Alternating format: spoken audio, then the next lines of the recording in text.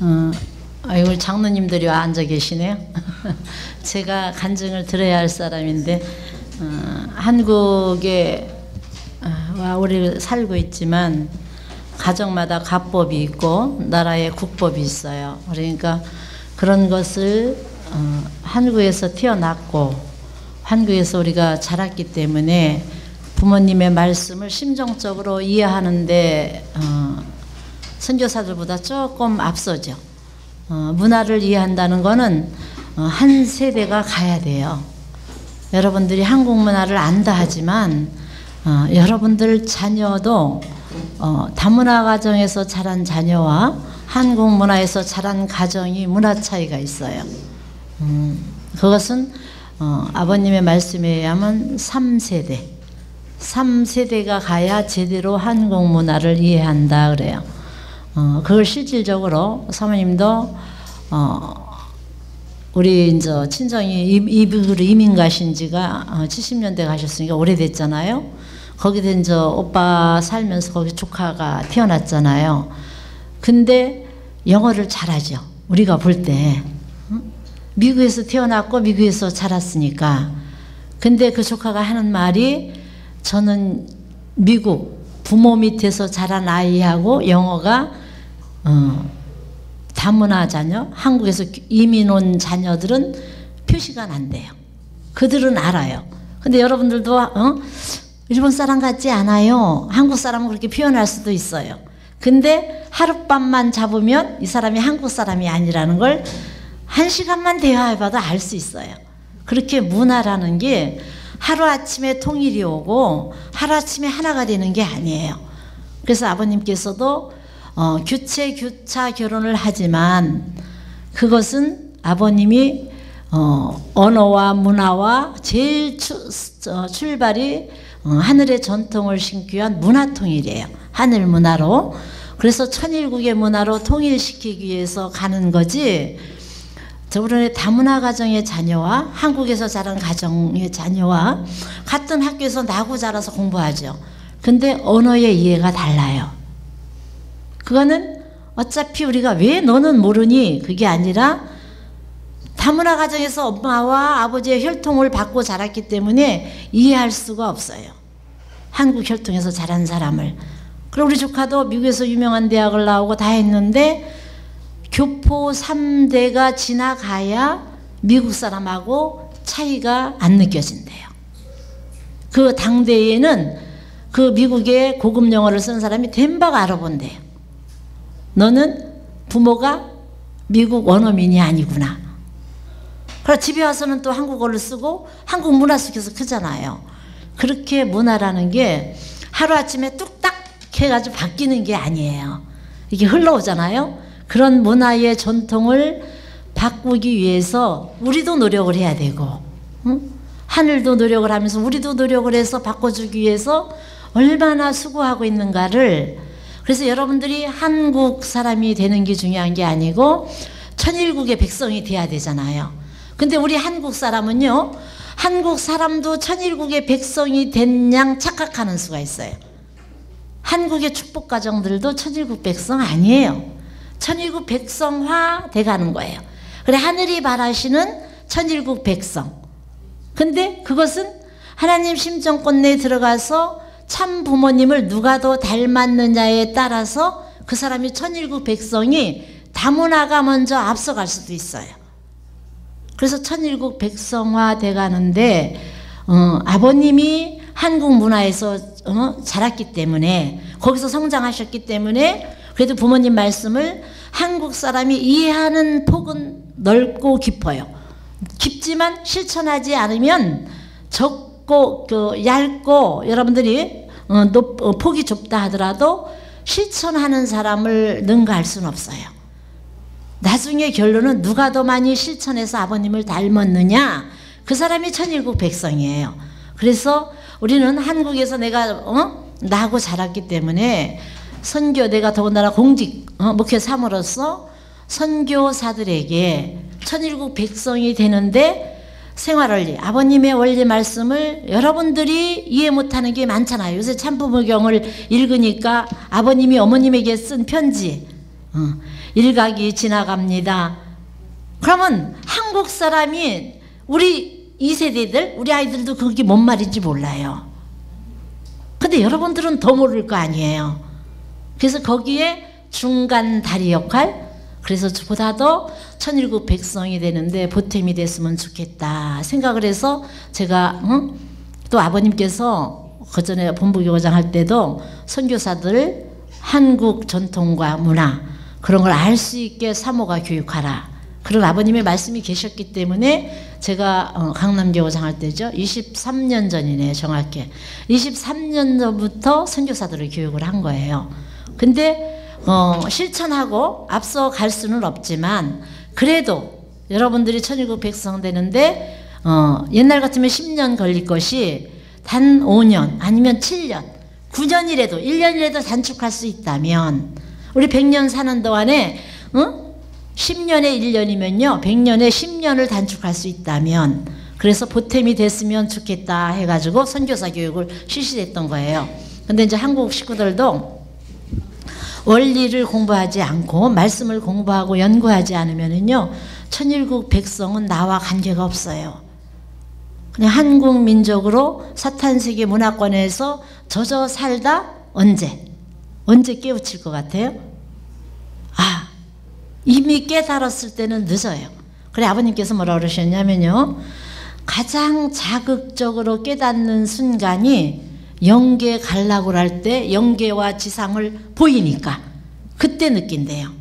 그런데 평소에 우리가 20대 30대 원리를 알았을 때 하나님을 알고 영계를 알면 빨리 실천하기 위해서 노력했을 텐데 머리로만 영계를 안다 참부모님을 안다 하니까 실천 가슴에 닿는 게 없어서 실천하지 못하고 있다는 거예요. 그래서 아버님께서 순수한 북한 사람들이 아버님을 받아들였을 때 용감하게 실천하면 그들이 천일국 백성이 더 빠를 수도 있다. 그리고 한국 사람보다 선교사들이 아버지 앞에 더 효자 효녀 자리에 설 수 있다. 그래 교육을 시켜라. 왜? 기존 갖고 있던 문화, 기존의 생각 이걸 바꾼다는 게 쉬운 게 아니에요.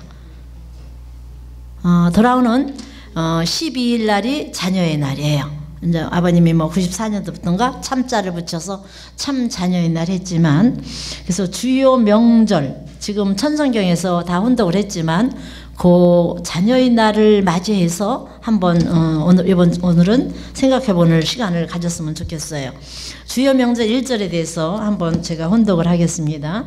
천성경 1233쪽이에요.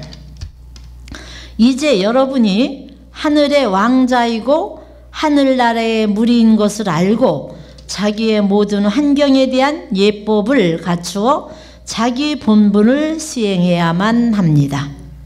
자녀의 달 주요 명절을 선포하시면서 아버님의 첫 말씀이에요. 여러분들은 세상에 속한 타락한 후손의 아들, 딸들이 아니에요. 하나님의 왕자, 왕녀예요. 공주예요, 공주. 그럼 공주와 왕자들의 삶은 여러분 드라마 사극에서 보는 이조 시대의 왕자와 공주도 삶이 달라요. 근데 우리는 하늘의 물이에요. 그러면 엄격히 얘기하면 황자와 황녀예요. 왕자는 하나라의 국가예요. 황자 그거는요 전 나라의 대표격이에요. 최고 높은 자리 황제 임금, 왕, 그건 한 나라예요. 황제 하면 우주의 꽉 찬. 그래서 아버님께서 연계 가실 때 진성덕 황제로 연계 가셨어요. 황제의 우리 후손들이에요, 우리들이. 그러면 황자와 황녀들이에요. 그러면 우리가 그런 것을 알으면 자기의 하늘나라의 무리인 것을 알고 모든 환경에 대한 예법을 갖추어 자기의 본분을 수행해야만 합니다. 요새는 사극이 반드시 드라마에 사극이 어, 일주일에 한두 번이 꼭 프로마다 나와요. 거기에 왕자 왕녀의 삶을 보면은요. 그것도 싫다고 고달프다 힘들다. 세자로 책봉이 되기 전에 3세만 되면 생모가 뛰어요. 그래서 스승들이 왕제로서 교육을 해요. 그 나라의 전통과 가법과 예법과 규율과 모든 세자 교육을 해요. 근데 우리는 황자 하늘의 황녀들이에요. 그러면 교육해야 될 그 예법과 자기 본분을 수행해야 될 것이 얼마나 많겠어요. 그렇기 때문에 축복 가정이란 삶은 세상의 질서와 율법과는 너무나 판이하게 우월하게 삶이 달라야 돼요. 그래서 축복 가정이 그 고을에 한 가정이 있다. 그러면 너무너무 아름답게 살기 때문에 그 모든 사람들이 그를 담고 싶어서 쫓아와야 돼요. 그런 책임이 있어요. 축복을 받았다는 사람들이 그런 것을 모르고 있습니다. 이 아버님 말씀이에요. 그러면 통일교인들은 어, 앞으로 어떻게 해야 되느냐? 하나님의 나를 중심 삼고 가정의 전통을 수립해야 됩니다. 제일 먼저 하셔야 되는 것이 축복 받기 전에는 나를 찾아야 돼요. 본연의 나. 축복 받기 전에 나는 어떤 사람, 공익성을 띤 나를 찾아야 돼요. 아버님 같이. 응?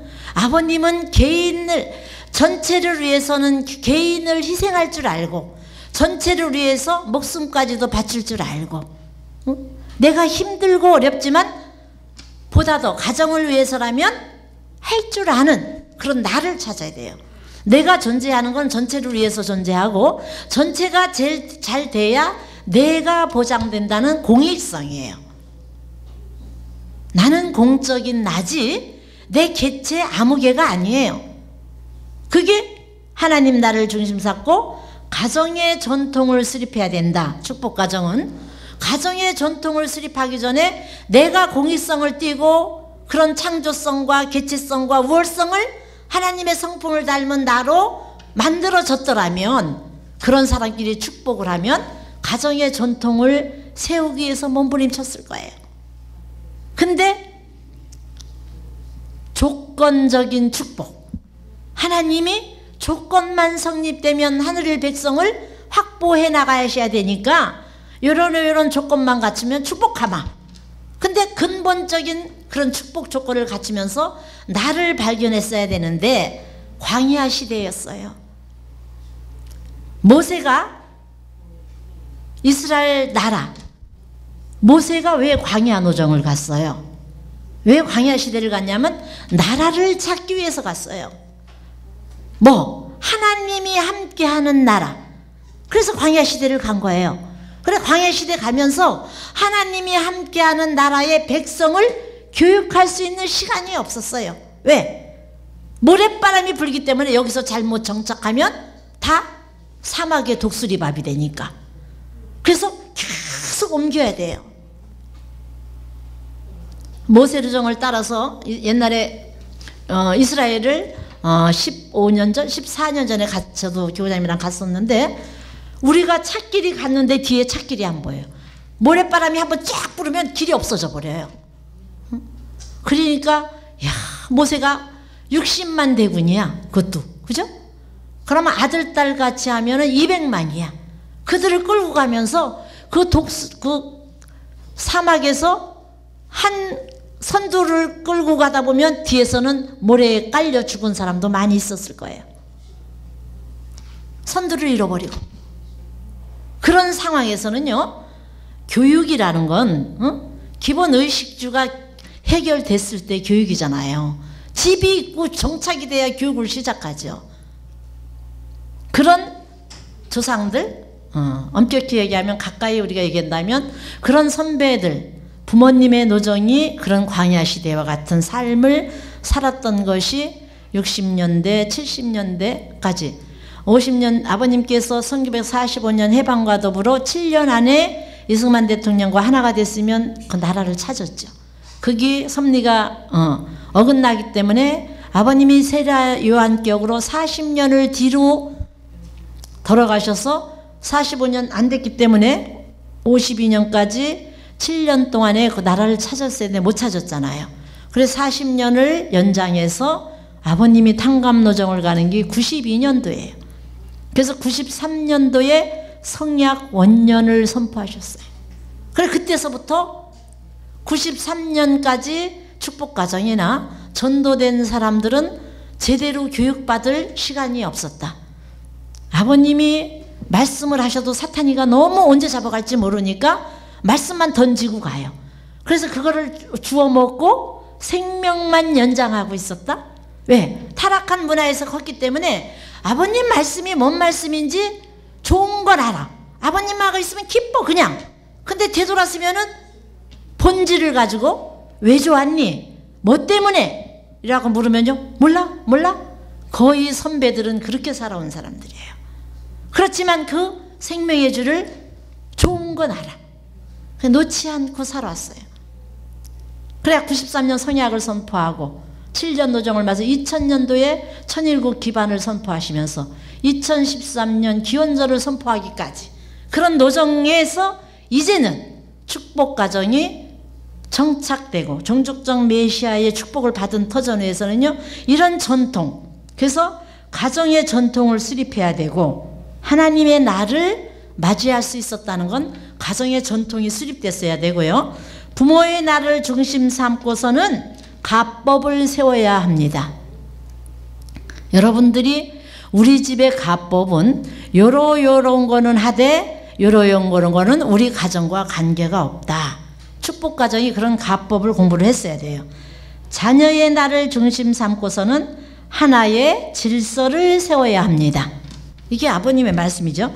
이 날들을 기념하는 데 있어서는 세상의 어떤 명절보다도 우리들이 살아왔을 때 세상에 여러분들이 지금 어, 솔직히 여러분들 마음속에 어, 설날, 추석 그 명절을 더 준비합니까? 우리가 준비하는 이제 12일 날 자녀의 날이 오는데 자녀의 날이 온다고 더 설레고 준비해요. 여러분들이 공익성을 띈 나냐? 우리 가정의 가법이 하늘 편이냐 사탄 편이냐는 여러분 개인이 물어보면 알아요. 야, 11월 10일 날이 응? 자녀의 날이야. 아이들에게 한 달 전, 두 달 전부터 교육을 해왔느냐? 근데 야, 몇 월 며칠이 추석이야. 음력으로 돼 있으니까 양력이 9월 24일이 추석이었잖아요. 그랬나요? 그러면 한 달 전부터 9월 24일 추석이기 때문에 그때는 어디를 가고, 어? 어, 큰 집에 가고, 뭐 어디에 뭐 하러 가고, 어? 어, 그때 뭐 사주고, 1월 1일 설날, 음력 설날이 1월 23일이다. 그러면 1월 23일이 설날이기 때문에 그때는 할머니한테 인사 가야 되고 어디 가야 되고 그때 놀 때 뭐 한다. 이런 계획을 세우고 자녀들한테 얘기했던 거와 축복가정 본질은 그죠? 세상의 어떤 명절보다도 그건 세상의 명절이에요. 설날과 추석, 단오, 그런 세상 명절이죠. 그거보다도 정성을 들이고 기뻐하며 맞이하기 위해서 여러분들이 준비합니까? 오늘 제가 돌아오는 11월 12일이 자녀의 날이에요. 그 소리가 처음 듣는 사람도 있을 거예요. 어? 자녀 날이 12일이야? 그러면 나는 아, 아직도 하늘의 전통과 문화보다는 세상의 것을 더 크게 여기고 살았구나. 내가 문제가 아니고 내가 문제예요. 지금은 저 애들이 어, 결혼하고 나가서 살고 떨어졌지만 사모님은 달력 새 달력을 받으면요 참가정의 자녀님들 생일까지 다 표시가 돼 있잖아요. 그러면은 참 자녀들 생일이나 그런 데는 반드시 몇 국을 끓였어요. 본인 생일에는 몇 국을 잃어버려요. 오늘은 어? 예진님 생신이야. 그러니까 아침에 몇국 먹는 거야. 그러고 이제 기도를 해요. 그러니까 아이들이 어? 몇 국을 끓이면은요. 오늘은 어, 느 자녀분 생신이에요? 아기 때, 클 때, 어려서부터 그렇게 키웠어요. 그러고 무슨 명절이면 언제가 무슨 명절이니까 만약에 이제 자녀의 날이 온다. 자녀의 날이 올 때 새 옷을 사놓고 이건 자녀의 날 지나면 입는 거예요. 그리고 평소에는 일요일 이 지나야 입어요. 그래서 나름대로 그렇게 교육을 했는데도 이제 결혼을 해서 가정생활 하잖아요. 응. 안시 경배 하십니까? 그러면 할 때도 있고 못 할 때도 있어요. 그렇게 어려서부터 했는데도 그 문화가 타락권의 문화이기 때문에 내가 가슴을 치는 거예요. 우리가 빨리 전도를 해서 어? 문화권을 옮겨놨어야 되는데 그러고 세상 문화권에서 살면서 세상 버릇을 할때 어, 매를 때리다가도 어? 지금도 이제 한편 후회스럽기도 하지만 어, 세상 문화에 젖어서 말을 안 들을 때는 나는 매를 들었어요. 어? 그래 때려놓고 나서는 내가 사실은 그 아이한테 끌안고 울면서 미안하다고 사과를 해요. 왜? 하늘 문화권으로 살려니까 어, 여러분들이 아들, 딸을 사랑하면 사랑할수록 학교에 보내놓고 세상 문화보다 하늘 전통을 배워가라. 하늘의 전통은 이렇고 이렇고 이렇다. 그러면 자녀의 날 행사를 해야 되는데 그 이튿날 출근해야 돼요. 새벽에 경, 지금은 경배식이나 밤 0시 한다? 못 와요. 잠자다가 늦추고. 근데 21살까지 데리고 있을 때까지는 한 번도 명절에 빠지거나 예배에 빠지게 해보지를 않았어요. 어떤 일이 있어도 참석시켰어요. 응? 아파도 와서 참석하고 아파라. 그래 엄격하게 했는데도 지금 다른 무슨 일이 있다고 빠진다니까요. 그럴 때마다 야 20여 년간 훈련을 시켰는데도 세상 환경에 끌려가요. 근데 그, 그렇게 거기에 또 하나가 되지 않으면 살 수가 없으니까. 그러니까 우리가 빨리 아버님께서 환경 창조를 하라고 그랬는데 야 통일교회 전통과 가법이 월등하다. 우리가 세상 것보다 그걸 배워야겠구나. 이렇게 우리가 전도 활동을 많이 했어야 되는데 어, 내 탓이죠, 내 탓. 너가 문제가 아니고 아들 딸이 문제가 아니고 우리가 그 환경을 창조해 주지 못한 거. 그게 가슴 아픈 사연이에요. 그래서 나는 애기들한테 어릴 때부터 주일학교 다니고 어? 성학생 갈 때마다 엄마가 미안하지만 부탁할 게 있어요. 그러면 뭐예요? 그러면 응. 원리적으로 살기 어렵죠. 지금 대학가에서 절대성 한국 대학은 좀 유지가 돼요. 미국 대학은 어려워요.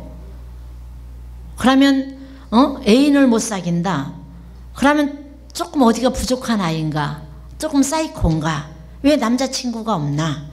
외국 문화는 그렇잖아요. 기숙사도 남여자, 남자, 여자 친구들 혼숙을 해도 학교에서 뭐라고 안 해요. 18세가 넘으면. 그런 문화거든요, 세상이. 근데 그걸 절대성을 시키고 살게 해야 되잖아요.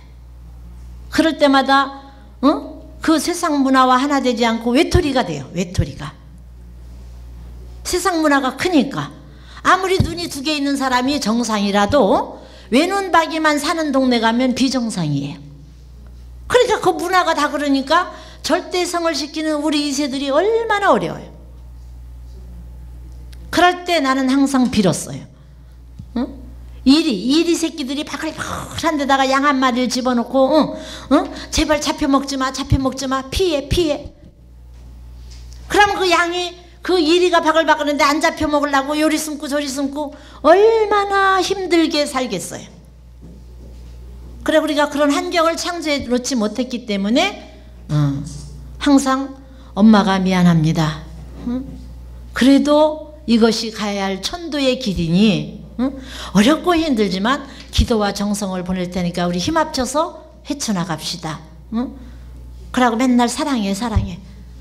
세상 응? 아이들에게 세상 남자친구에게 들어야 할 얘기를 부모가 감싸주지 않으면 어떻게 견디겠어요? 하늘의 전통과 가법을 우리들이 그렇게 정착시켜 나가지 않고 어? 누가 해주겠느냐 이거죠. 이제 광야 시대 93년도부터 어, 지금 2003년, 13년, 20년이 지났어요.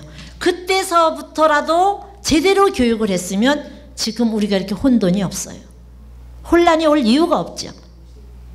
그것을 못했, 못했던 것을 누구를 원망하기보다 나로 말미암아 내가 실천하지 못했다. 이렇게 4대 명절을 어? 지금 8대 명절이지만 맞이하면서 세상 어떤 명절보다 정성 들이고 기뻐하면서 기다리고 소망을 가지고 만나야 되잖아요.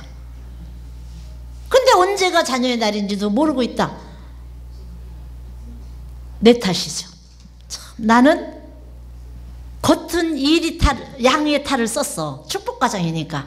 겉은 양의 탈을 썼는데 속에 치킬 박사와 하이드 같이 속에 이리 때의 성품이 아직도 다 빠져나가지 않고 아버님은 너는 양의 탈을 쓴 하늘의 아들 딸이다. 그러고 자꾸 붙잡아 주시는데 응? 내 마음속에는 50% 49% 계속 이리와 양이 싸우고 있어요. 왜? 완전하게 양의 전통과 하늘의 전통으로 쓰지 못하고 세상과 하나 돼서 거기서 편하게 안착하려다 보니까 그러고 모든 축복 가정이 그런 정도로 사는 가정이 많았더라면 혼동도 없고 부모님도 저렇게 고생하지 않아요. 부모님도 저렇게 마음 아파하시지 않고 참자녀 가정에도 아무 문제가 없어요. 우리가 방패 노릇을 못했기 때문에 사탄이가 어디까지 쳐들어왔어요. 그럼 우리 탓이에요. 그러니까 지금부터라도 우리가 이거를 실천하고 제대로 아버님 말씀 맞다나 하늘나라의 무리인 것을 알고 자기의 모든 환경에 대한 예법을 갖추어 자기 본분을 수행하면 왜? 하나님이 함께 하는 것은 하늘의 아들딸이에요. 거기에 역사가 벌어지죠. 그러면은 섭리는 단축되는 거예요. 그래서 나는 천복공도 여러 가정이 하나가 되는 게 아니에요. 처음부터 한 가정 한 가정이 정착되면 어떻게 하나님과 참부모님과 심정이 정착되면 그것이 번식이 일어나는 거예요. 여러 가정이 동시에 정착된다? 그건 없어요. 하나로부터 출발하는 거예요. 나 하나가 하나님과 하나가 됐느냐? 우리 가정이 하나님이 언제나 운행할 수 있는 가정이 됐느냐가 중요하지. 어? 네 가정이 하나 됐어? 니들이 하나 됐어? 그게 중요하지 않아요. 저는 교사님과 항상 우리 부부가 우리 가정이 하나님이 언제나 수직각도에서 운행하는 가정이라면 어? 시간이 가면 천복궁은 부흥 발전하고 참다운 이상 가정들이 나타나는, 것, 나타나는 것이 원칙이다. 그렇게 생각하고 목회를 해요. 그래서 여러분 어느 뭐 문제를 일으키는 가정이 문제라고 생각해 보지 않았어요. 우리 마음이 변화가 있느냐? 절대적이냐? 중심이 서 있으면 왜? 사람의 본능은요. 보다 더 선하고 보다 더 착하고 아름다운 사람을 닮고 싶은 게 본심이에요. 보다 더 선한 사람하고 같이 지내고 싶죠. 시기 질투하고 막 교만한 사람은 옆에 응? 어쩔 수 없이 가도 같이 있는 거 싫어해요. 그래서 하나님의 사랑, 하나님이 함께하는 가정이 되면 다 끌려오게 돼 있어요. 중심 축이 중요한 거예요. 그런 축의 가정이 천복궁에 몇 가정이 나타나냐에 따라서 여기가 만 가정, 이만 가정으로 번식할 수 있는 거예요. 그런 가정이 없기 때문에 그런 가정이 없죠. 세상에 사회화되어 있는 하늘의 전통과 관계없는 가정은 많으면 많을수록 시끄러워요. 시끄럽죠. 이리들만 있어봐요. 이리들은 아무리 배가 불러도 서로 잡아먹으려고 막 앙앙해요. 하늘의 전통과 가법을 수행하는 가정은 많으면 많을수록 은혜가 넘쳐요. 서로 사랑하고 싶어서. 근데 하늘이 떠난 가정은 적은 숫자도 있으면 싸워. 그래서 시기하고 질투하고 교만하다. 서로 시기한다. 그러면 거기는 하나님은 떠나요. 서로보다 더 사랑하고 싶고 위해주고 싶고 어? 희생 봉사를 선 조건으로 해서 사는 가정 앞에 하늘은 운행하는 거예요. 그날을 찾기 위해서 우리가 살고 있는 거예요. 우리 아버님의 말씀을 보면 자녀의 날을 보세요.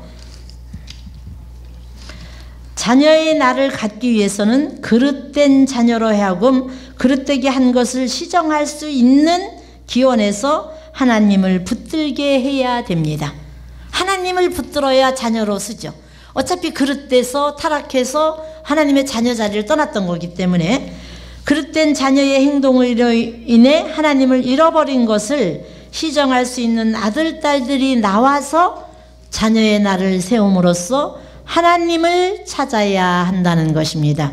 하나님을 찾게 되면 하나님이 영광의 자리에 나가 기뻐하시게 됩니다. 하나님이 기뻐하시게 되니 아들, 딸도 기뻐하게 되고 만물도 기뻐하게 됩니다. 그래서 우리가 하나님의 자녀의 날에 우리가 자녀의 본분만 찾으면은요, 축복 가정은요, 돈이 없이 어렵게 살게 돼 있지 않아요. 탕감 시대에는 어렵게 살았어요. 탕감이 끝난 기원절이 선포된 2013년 이후 근데 2013년에 아버님 성화로 3년을 연장시켜 주셨으니까 어? 이 15년 이제 2016년이 오죠. 올해까지 아버님 성화 3주기까지는 어차피 어, 기원절을 맞기 전에 부모님이 탕감노정을 가신다고 봐요. 그럼 2015년 8월 29일 아버님 성화 3주기를 시점으로 원리적으로 살고 하나님을 기뻐하시는 아들딸의 가정은 9월, 10월 지금 저 두 달 지나가잖아요. 성화 3주기가 축복 가정이 원하는 대로 모든 일이 술술술 잘 풀리는 가정이 축복 가정이에요. 지금 하는 것마다 일이 꼬이고 안 풀린다. 그거는 하나님을 영광의 자리에 기쁘게 아들, 딸이 기뻐할 수 있는 내 자리를 우리가 확보하지 못한 거예요. 그러니까 원리적으로, 그죠? 하늘의 전통과 가정의 전통과 가정의 가법과 하나의 질서를 회복해 놓지 못했다는 얘기예요. 그런데 그래서 2015년 아버님 성화 3주기가 지나고 나서 축복 가정들이 막 흔들려야 돼요. 막 흔들어 놓을 거예요. 지금은 아, 스타트예요. 내년에 더 흔들리지 않겠어요? 2020까지는 어? 태풍이 불면 불수록 여러분들 어, 쓰나미가 왔다. 태풍이 막 분다. 그러면 사람들이 누구를 찾아요? 아무리 약한 사람이라도요 죽음 직면에 닥치면은요 위험한 경지에 닥치면요 아이고 하느님 어? 나좀 살려주세요. 다 찾게 돼 있어요. 근데 다 찾는데 기준이 있어야죠.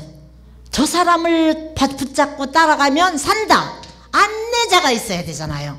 근데 하늘의 섭리는요 기준자를 세워놓고 역사하지 기준자가 메시아를 세워놓고 따라가라 했지 메시아가 없는데 힘을 아치는 역사를 한 적이 없어요.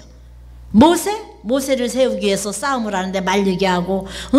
어, 홍해를 가르게 해서 야 저 사람을 따라가면 죽지 않고 살겠구나. 그러니까 60만 대군이 자기 생계 다 뿌리치고 따라 나갔죠. 그런 소망이 없었으면 따라 나갔겠어요? 타락성이 있는 사람인데 여러분들도 지도자를 따른다. 계산을 해서 단 플러스 하나라도 경, 제적으로 계산하면 저 사람을 따라가면 어? 커피 한 잔이라도 얻어먹을 수 있어야 따라가지. 저 사람 따라가면은 내가 커피를 두세 잔 사야 돼 손해볼 것 같아. 그럼 뭐라 그래요? 나 약속이 있어서 미안해. 어? 그게 인간의 본심이에요. 하나님도 마찬가지예요. 응? 하나님을 붙잡으면 축복이 무한한데 아들, 딸에게 하나님은 공익성으로 다 줘요. 아버, 부모님은 내가 얘기했잖아요. 아버님은 0.01%도 사심이 없으세요. 원 사랑의 로고스체예요. 자녀들에게 100%다 주세요. 우리가 아무리 거짓 보고를 해도 어? 거짓은 들은 바가 없어요. 아버님은. 그 용기 하나로 99%를 덮잖아요. 그게 아버님의 정체성이에요. 그러니까 아버님 옆에 가면은 멀리서 아버님만 바라봐도요. 축복 가정들은 커피 한 잔 얻어먹지 않아도 왜? 그 로고스 말씀체의 에너지 본체는요. 막 끌려 들어가잖아요. 거기 로고스체라는 얘기는 말씀 본체라는 건요. 사랑의 화신체예요. 그러니까 멀리서 바라봐도 그 빛이 좋은 거예요. 왜 좋아했는지도 몰라. 그러면서 괜히 바라만 봐도 멀리서 아버님 걸어가는 모습이나 말씀하시는 제스처 하나 가슴에 안고 평생을 수절하고 사는 사람 많잖아요. 아버님하고 손목 한번 잡아본 거 아닌데. 왜? 우리 본심 가운데는 사랑하면 목숨도 버려요. 우리가 찾아가야 할 본질은 하나님의 참 사랑이라는 것이 다 입증이 되잖아요. 그래서 사랑하는 데 가고 싶은 거예요.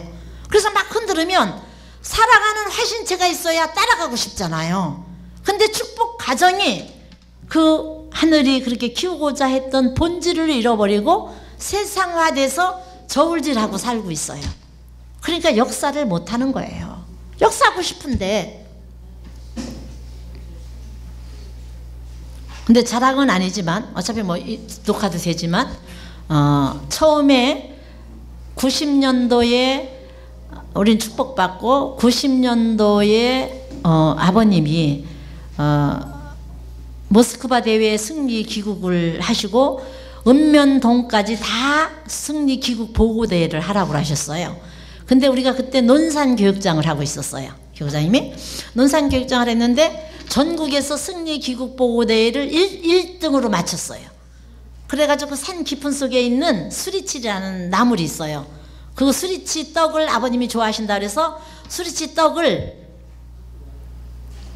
아마 일곱 가지 고름, 어, 어, 일곱 가지 고물, 고물. 가지고 일곱 바구니를 대바구니를 하고 경비실을 해가지고 아홉 바구니를 아홉 박스를 만들었어요. 그걸 다 어, 인절미를 근데 인절미는 칼로 대면 맛이 없어요. 사실 원칙적으로는. 그래서 접시로 다 다 쓸었어요. 새벽 어? 1시서부터. 가지고 6시까지인가 해가지고서 한남동으로 어, 봉구에다가 많이 싣고서 갔어요. 그때 축복받은 이후에 아버님과 이렇게 대면하는 건 처음이었어요. 82년도에 축복받았으니까. 그랬는데 아버님께서 아침부터 우리는 저 8시 넘어서 도착을 했잖아요. 근데 아침에 6시, 7시쯤 식사를 하시는데 식사를 안 하시고 왔다 갔다 하시면서 오늘 귀한 손님이 온다고 그러고 기다리셨대요. 근데 이걸 논산교육장님이 떡을 해가지고 왔습니다. 그러니까 아버님이 그 식탁 잡수시는데 거실로 불렀어요. 식탁으로. 들어오라 그래라. 그래서 이제 우리 부부가 앉아서 경배를 하고 그 식탁 밑에 바닥에 앉았잖아요. 바닥에 앉아서 경배를 했어요. 음. 그랬더니 아버님 할아버지 의자 갖다 주라 그래가지고 의자에 앉았는데 그때 이제 여러 가지 물으셨죠. 아기가 어떻게 되냐, 뭐, 뭐, 뭐, 여러 가지 다 물으시고, 개인, 개인 그렇게 자상하게 관상도 봐주시고, 어? 하시면서 하시는 말씀이, 어, 축복받고 다 누구나 마찬가지죠. 동기를 잃지 않고 한 마음 한 뜻으로 세상을 버리고 아버지만을 바라보고 살기는 쉽진 않지만 그렇게 노력을 하잖아요. 그러면 노력할 때 반드시 사탄이가 그것을 성치 못하게 유혹이 많아요. 여러분들이 목회 생활하니까 평준하게 고우 해가지고 고속도로 달릴 것 같으죠? 안 그래요. 자기가 책임진 것만큼의 십자가의 시험이 있어요. 어느 단계까지는. 근데 우리가 그 목회를 하면서도 죽는 게 낫겠다. 할 정도로 명예를 무시하고 인격 사람을 무시하고 어? 그런 고난도 너무 많았어요. 그렇지만 아버지와 더불어 약속한 것이니까 어, 그 사람을 보고 우리가 목회를 선택한 거 아니지 않냐. 아버지가 인진받아서 선택한 거니까 우리는 모른다 하고 갑시다. 그러고 넘고 넘어서 와서 그렇게 논산결장을 하고 있을 때예요. 어? 잘못 어? 말 안 듣는다. 어, 잘못 뭐 한다. 아니면 교장님이 원리 강의를 그, 그 시대의 목회자들 중에서 교장님이 원리를 제일 원리 강의를 잘했어요. 근데 원리 강의를 잘한다고 구박하는 사람도 있어요. 네가 잘나면 얼마나 잘났걸래. 그러고 그 시대에 대학 나온 목회자가 없었어요. 거의 다 고졸이었어요. 근데 교구자님은 군대 갔다 오셔서 대종교가 개종하는 바람에 대학을 졸업하고 우리 교회 들어왔잖아요. 그러니까 대학 나온 놈이 목회하겠나? 직장 잡아 나가겠지. 근데 직장 잡으면 하는 것마다 망하고 제명이 못 산다니까 목회에 붙을 일밖에 없었잖아요. 근데 대학 던 놈이 직장 잡지 어? 고생하는 목회를 왜 하느냐고 격려하는 게 아니라 시비를 걸고 속을 뒤집어요. 어? 어. 하라고 이제 부부가 어떠니 응? 사실은 제가 이제 교, 교사 자격증이 있으니까 어, 유치원 원장도 할 수 있었고 해서 하니까 부부가 나가서 벌어먹고 살아도 어떤데 그렇게 하느니 뭐 많은 시련이 있죠. 근데 시련이 있을 때마다 우리 부, 어, 부부의 삶은 저는 교장님과 약속이 응? 하늘과의 관계에서 목회를 선택했고 응? 아버지와 관계로 약속한 거기 때문에 그런 건 나와는 관계없다. 우리와는 관계없다 해서 상대해 주지 않았어요. 그렇지만 고통은 크죠. 욕하는 소리 다 들리죠. 울기도 많이 울었죠. 그럼 정성 들이고 많이 울죠. 철야도 많이 하고 그랬는데 아버님을 탁 바라봤는데요. 그러고서 이제 목회 출발해서 10년 세월에 축복받은 건 82년도지만 그 전에 10년 전에 이미 공직을 내가 76년도부터 목회를 출발했잖아요. 어, 전국의 여자교회장은 저 혼자였었어요. 그랬고 교구장님도 76년도부터 출발을 했고 목회를 그래서 이제 갔는데 아버님이 이렇게 딱 앉으라고 이렇게 딱 쳐다보시면서 한다는 말이 첫 말씀이 뭐라고 그랬는 줄 아세요? 야 어렵고 힘들 때 어떻게 그렇게 지혜롭게 극복했니? 상대하지 않았잖아요. 어? 그런 시련이 닥쳤을 때 거의 다 나가 떨어졌다는 거 아니에요. 교구장 우리가 목회를 한다고 전념하니까 너 당신 같은 부부는 목회하면 안 되고 직장 잡아가라고 목회를 면시키려고 했던 목회자도 있었어요. 여러분들 시, 그렇게 쉽게 가는 길이 아니에요.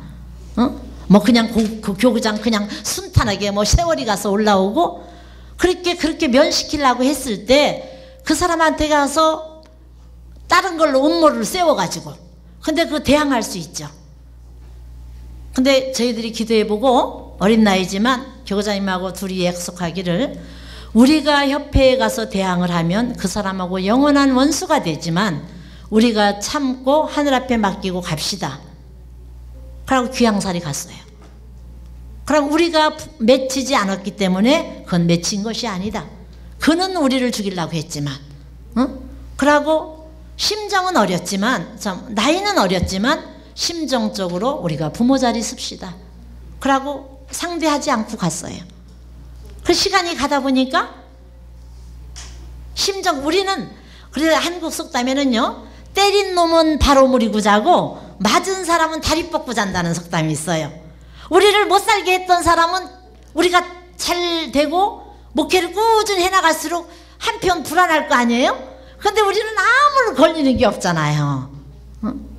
맺히는 게 없어요. 사실 우리 죽이려고 한 사람도 많죠.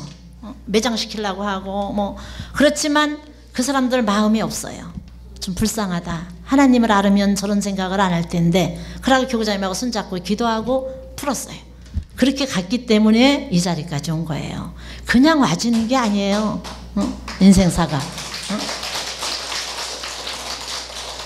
그 말씀을 왜 드리냐면 아버님은 나는 나 하나가 문제였고 우리 가정이 문제다. 그 기준은 지금도 변함이 없어요. 그래 교구장님하고도 있다 보면 부부간에 살면서 싸울 일이 없다는 건 거짓말이에요. 있지만 어떻게 극복하느냐. 그래서 싸우고 싶은 얘기 내올 때마다 당신하고 나와의 싸울 문제가 아니고 이것으로 말미암아 사탄이가 조건을 제시해서 들어오려고 하는 것일 수도 있다. 그러니까 우리는 그런 상황이 벌어지면 내가 잘못했어. 내가 잘못했어. 서로가. 그래 버리니까 싸울 일이 없었어요. 그러고 가만히 생각하면 내가 잘못한 것도 없고 그 사람이 잘못한 것도 없어. 그럼 우리는 내 탓이요. 그러면 사탄이는 떠나요. 다 너 때문에, 너 때문에. 그러면요, 그 사탄이는 계속 물고 와요.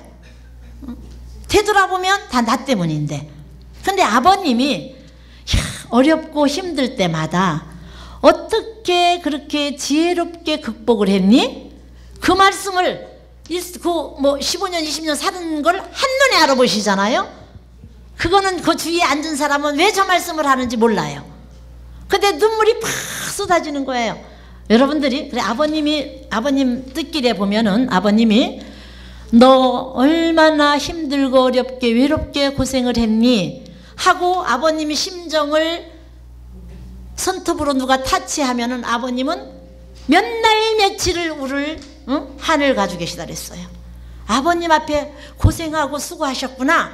한마디 하면은요, 아버님도 통곡이 벌어진다는 아버님 말씀이 있어요.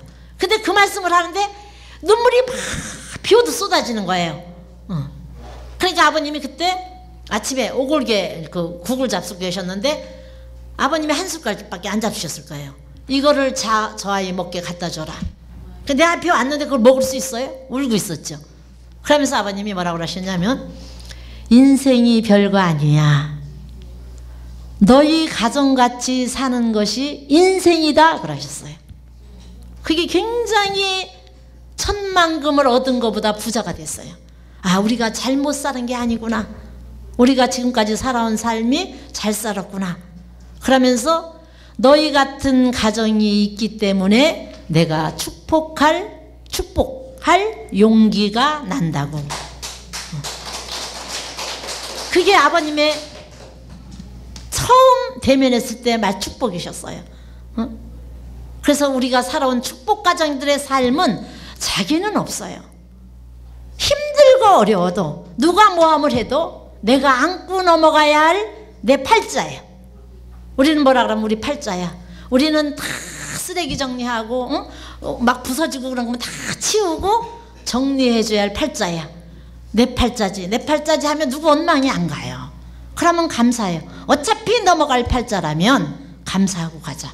어차피 넘어갈 산이라면 기쁘게 가자. 근데 개인의 노정도 그렇지만 가정의 노정도 종족의 노정도 똑같아요.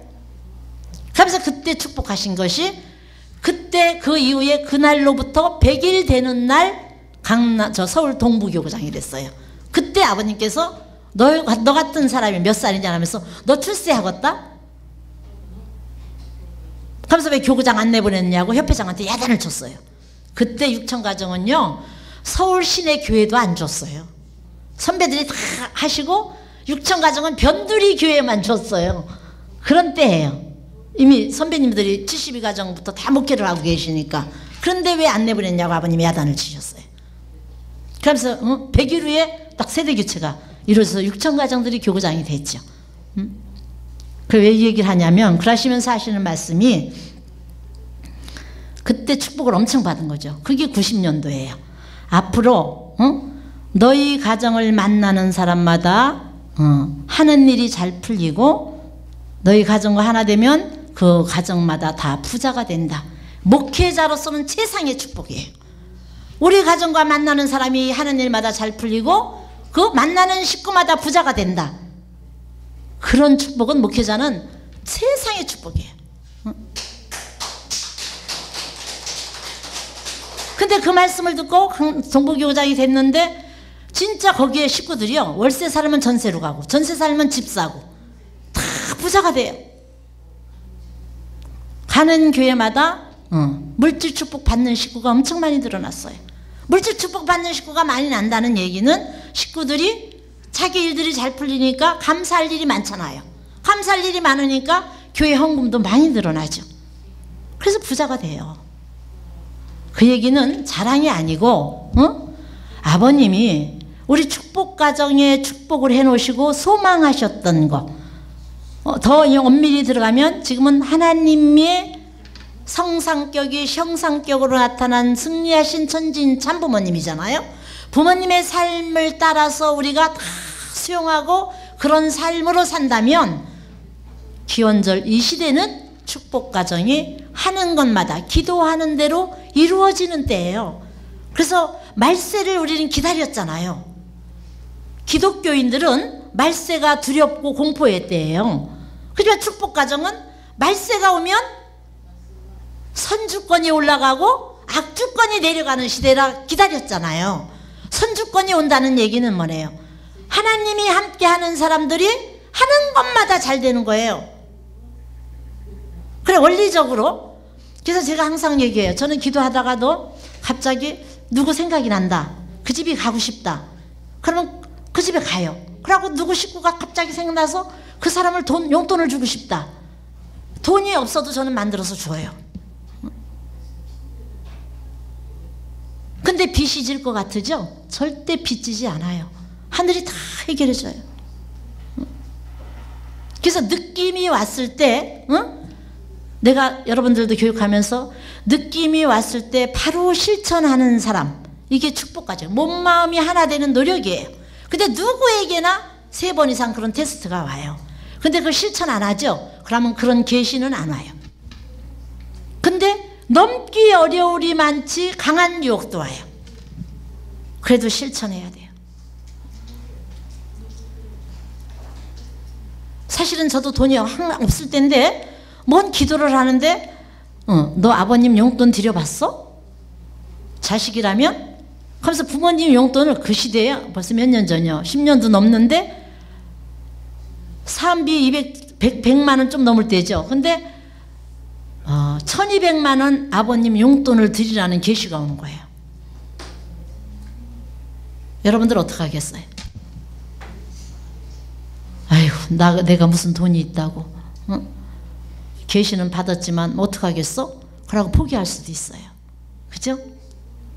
아, 사탄도 시험하지만 하늘도 마음 조이면서 나를 지켜보시겠구나. 내 소속이 어디냐? 하늘 편이냐, 사탄 편이냐 결정하는 판가리의 유혹이다. 시험이다.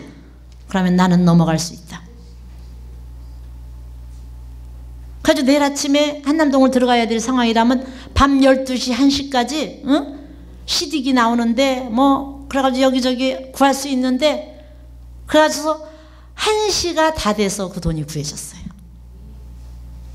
뒤에 계산법은 몰라. 어떻게 차용을 하든. 그래가지고 그 이튿날 가지고 갔어요.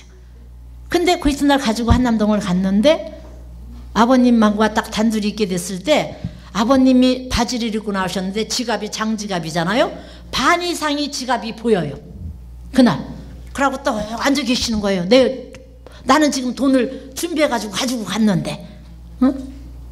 그래서 내가, 아, 지갑을 내가 뺐어요.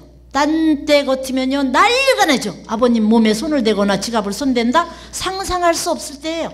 근데 아버님이, 왜? 그러고 씩 웃으면서 쳐다봐요. 그래서 아버님 용돈 좀 넣어드리려고요. 그랬더니 지갑이 1원도 없는 빈 지갑이야. 하늘의 축복이었어요. 내가 넘어가나 안 넘어가나 하늘의 사랑의 시험이었다는 걸 아버님 빈 지갑을 왜 꽂고 앉아 계셔? 그 내가 1200만 원을 딱 넣어드려서 얼마라고 안 하고 아버님이 용돈이에요. 그러면서 넣어드렸어요. 그러니까 그래 잘 쓸게. 근데 그게 빚으로 남아져야 되잖아요. 빚으로 남아져야 되는데요. 우연찮게 뭐뭐뭐뭐가 들어오면서 다 일주일 이내에 다 해결됐어요. 그러니까 여러분들이 그거는 체험, 체유, 그걸 체율적인 신앙이라고 그래야 돼요. 그래서 그렇게 하늘에 느낌이 오고 계시가 오실 때 내가 넘어갈 거 간단한 시험도 오죠. 하지만 넘지 못한, 넘지 못할 시험은 없어요. 근데 나의 결단을 요구할 때가 있어요. 근데 축복 가정이라면 영육계 공감하는 그런 삶으로 나를 하늘이 안내하고 있다. 지금도 무슨 느낌이 오거나 무슨 뭐가 있다. 어디 가서 기도를 한다. 부모님이 그립다. 그러면 언제든지 부모님 뵐 수 있잖아요. 그런 것을 여러분들이 자꾸 개발해 나가야 돼요. 어디로? 하늘 소속권으로.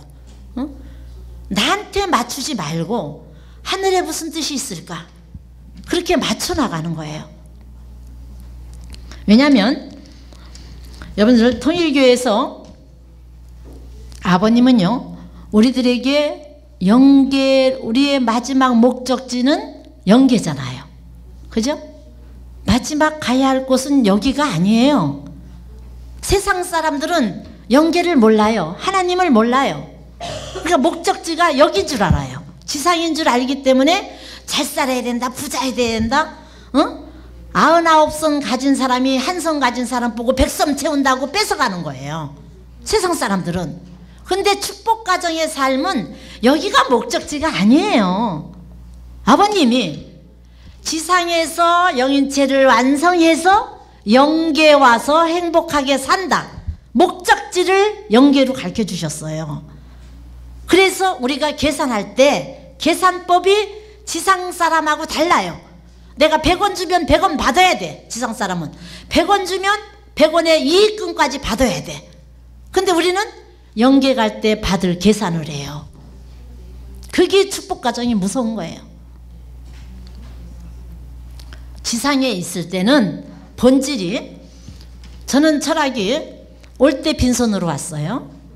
연계 갈 때 빈손으로 가요. 그 얘기는 빈손으로 가는데 가지고 갈 것은 참 사랑을 실천한 사랑 보따리밖에 없어요. 거짓 보따리는 지상에 두고 가야 돼요. 근데 사랑 보따리가 없으면 거짓 보따리가 연계에 나를 따라와서 다시 재림 부활해야 돼요.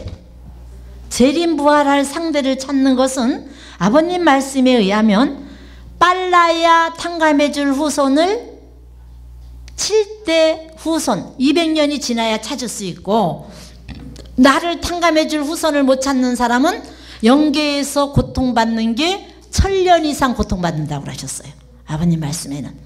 그래서 지상에서 계산하려고 하지 말고 영계를 보고 계산하고 살아라. 그러면은 영계 올 때 그렇게 깨끗할 수가 없대요. 그래서 축복가정 삶은 목적지가 영계예요. 그래서 나는 내가 선교사들한테 어디 교회 가나 교육을 할 때 여러분들 희생하고 봉사하고 이렇게 봉사하잖아요. 그럼 아이고 수고했네. 언니 어? 진짜 형제의 사랑으로 기뻐서 커피 한 잔이라도 사주면 감사하죠. 근데 수고했기 때문에 내가 밥 사준다. 그런 밥은 난 먹지 마라 그래요. 어? 그럼 내가 봉사해 놓고 밥 한 끼로다가 계산이 끝나버렸어. 그럼 영계 가져갈 사랑 보따리는 하나도 없어. 나는 영계갈 재산을 쌓는 게 목적인데 여러분들이 영계갈 재산 쌓는 것은 주고 주고 주고 또 주고 더 못 줘서 안타까워하는 심정이에요. 그게 참 사랑의 본질이에요. 내가 베풀고 베풀어도 누가 아는 게 중요한 게 아니고 하나님만이 나를 딸이라 인정할 수 있다면 그러고 계속 베풀고 남이 안 보고 어렵고 힘들어하는 것 남이 하기 싫어하는 화장실 청소 그래서 기성교회도 그 우리의 원리를 제대로 모르지만 교회 딱 전도되면요 희생하고 봉사하세요부터 시켜요. 근데 우리는 아버님이 너무 리얼하게 가르쳐 주셨어요. 왜 희생하고 봉사해야 되나? 영계에 와서 편안하게 살기 위해서 육신 쓰고 완성하지 못하고 면 영계에서 고통스러우니까 그런 원리를 너무 잘 가르쳐 주셨는데도 축복 가정들의 희생적인 삶보다 기성교인들의 장로 권사들의 희생적인 삶이 더 크다. 누가? 축복 과정들이 그 얘기를 하고 있어요. 기성교 장로 권사는요 헌금도 잘하고 그 봉사도 잘하는데 우리들은 안 해요.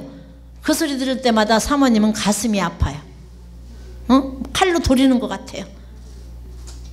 하나님의 아들, 딸, 축복받은 인침파 된 사람, 어린 양잔치에 참여한 우리가 본이 돼야 되는데 우리는 본질을 잃어버리고 종새끼가 돼 있고 황자 어, 황녀로 축복해 줬는데 복받지 않은 그들을 황자 황녀에 올려놓으려고 하니 가슴이 아프죠. 그래서 연계를 알고 사는 사람들의 삶을 보면 교회 같은데 아무리 크고 죽고가 중요하지 않아요. 누가 와서 청소하고 가는지 누가 와서 봉사하는지 언제나 반짝거리는 거죠. 그래서 그 교회가 살아있냐 그 교회가 빛나냐? 하나님의 사랑을 소유한 사람, 하나님의 아들, 딸들이 많으냐, 적으냐죠. 그래서 그렇게 계산하는 거예요. 그래서 이제 교사님하고 저는 목회를 하면서, 야, 그러면은 연계를 갈 때 나는 그래도 많이 위에서 살았다고 했는데, 이제 성화식을 많이 하잖아요. 여러분들도 느끼는지 모르지만 우리 이제 성화식을 하다 보니까 몇백 명 성화식 했죠. 근데 교사님하고 우리는 성화식을 많이 하는 편이 아니에요. 노인들이 계셔도 저희들이 가면 안 돌아가셔요. 저희들이 떠나면 돌아가시는 경우가 많아요. 근데 성화식을 많이 하는 목회자가 있어요, 또. 근데 우리들은 성화식은 별로 많이 안 해요. 어, 가시할 분만 가시지만. 그래서 이제 성화식을 해보면 그 성화식당에 가서 딱 기도하면요. 이분이 어떻게 살았나가 보여져요. 그분의 일대기가. 그럼 이분이 어느 연계쯤 가겠다. 그게 이제 교장님도 느끼시니까 더 좋은 데로 갈 수 있게 후손들에게 어떻게 어떻게 정성 들여라 지시를 하세요. 그래 그대로 하면 그분들이 잘 가죠. 근데 그렇게 연계 정리해서 어느 굽수로 간다 계산해 주는 거 쉽지는 않지만 그렇게 했던 것이 거의 다 맞았어요. 음? 근데 그래서 교사님이 생각하시길 야, 그 40일 동안에 3일 지금 뭐 직단 거리로 간다고 하지만 아, 버님 앞에 축복 가정이 죽었다 그래서 3일 안에 직단 거리로 가는 사람은 드물어요. 40일간 지상 생활을 정리를 해야 스스로 찾아가는데 사탄이가 가는 길에 다리를 잡고 내 거 돈 내놔 돈 내놔. 네 후손들이 네 조상들이 어, 갚지 못한 거 네가 안 갖고 온 거 내놔 내놔 해서 발목을 잡기 때문에 못 가는 거잖아요. 선조들은 후손이 잘 되는 대로 가기를 원하죠. 근데 원한진 사람들이 못 가게 하는 거거든요. 그럴 때 계산하는 방법. 그래서 교장님이랑 저는 목회를 하면서 한 해의 결산은 기성교에서는 추수감사 예배를 해요 11월 달 중순 그죠?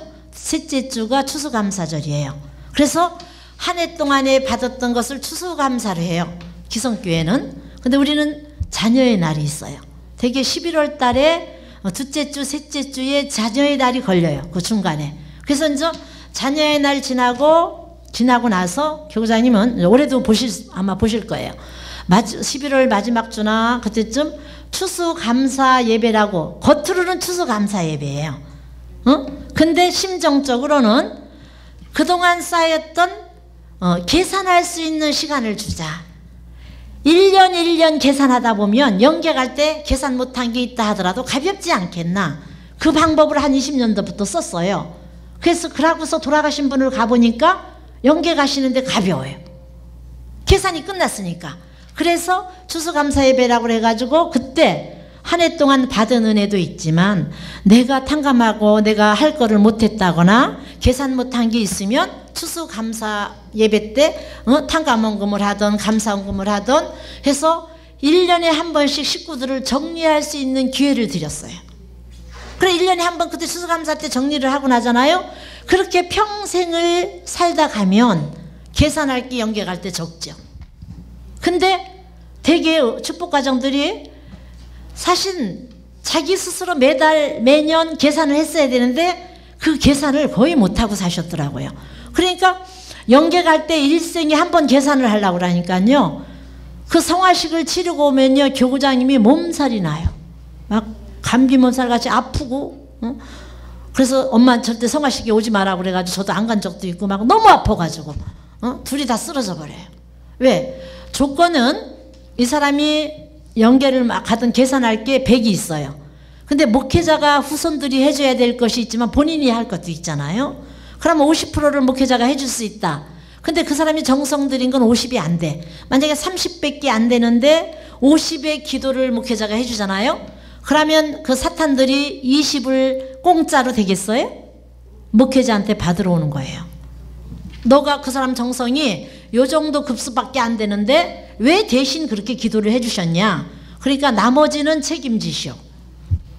그래서 여러분들이 공직자 가정을 사랑해야 되는 이유.